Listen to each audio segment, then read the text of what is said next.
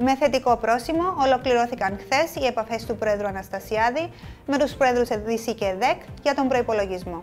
Η κυβέρνηση φαίνεται ότι θα ικανοποιήσει το αίτημα της ΕΔΕΚ για σύσταση δικαστηρίου εκδίκασης χρηματοπιστωτικών διαφορών με στόχο να λάβει τον ψήφο την ερχόμενη Πέμπτη. Η ολοκλήρωση της προσπάθειάς μας βρίσκεται ένα ακόμα βήμα πιο κοντά, δήλωσε ο πρόεδρος της ΕΔΕΚ, Μαρίνος Σιζόπουλος, μετά το τέλος της συνάντησης.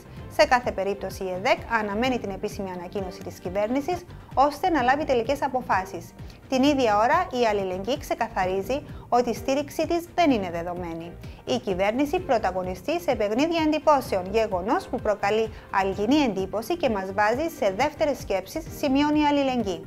Η κυβέρνηση ας μην κάνει το λάθος να θεωρεί δεδομένες τις ψήφους της αλληλεγγύης, αυτή στιγμή ενδίδει σε εκβιασμούς.